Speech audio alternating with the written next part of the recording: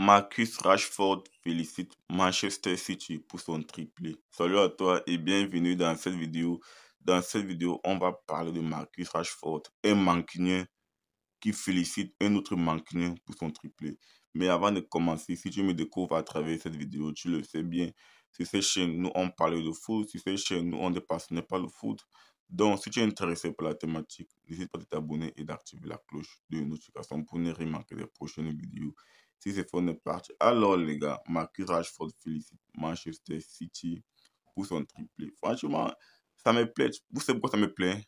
Parce que Rashford, c'est un mancunien. C'est un jeu de Manchester United.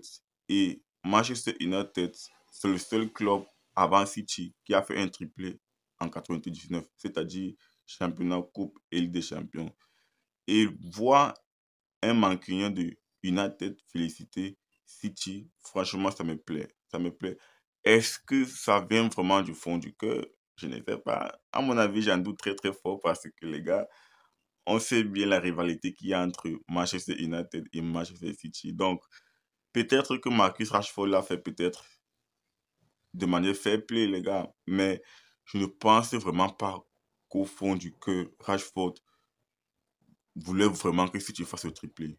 Parce qu'on sait la rivalité qu'il y a entre ces deux clubs, entre United et City. United voulait être le seul club à avoir fait ce triplé. Il voulait être le seul club, mais City a égalé ce record. Et maintenant, donc Rashford félicite. C'est bien beau, mais est-ce que ça vient au fin fond du cœur? J'en doute très très fort. J'en doute vraiment très très fort. Mais en tout cas, c'est un très bon geste, très bon geste de la part de Marcus Rashford de féliciter Manchester City pour son titre. C'est un très bon geste, les gars. Et ça a félicité. Donc, voilà ce que je voulais partager avec toi. Est-ce que tu penses que Marcus Rashford est vraiment sincère sur euh, ses félicitations? Partage-moi ton ressenti en commentaire. Et si ce n'est pas encore fait, n'hésite pas à t'abonner et d'activer la cloche de notification pour ne rien manquer des prochaines vidéos. Si on se dit à très bientôt pour notre vidéo. Ciao, ciao.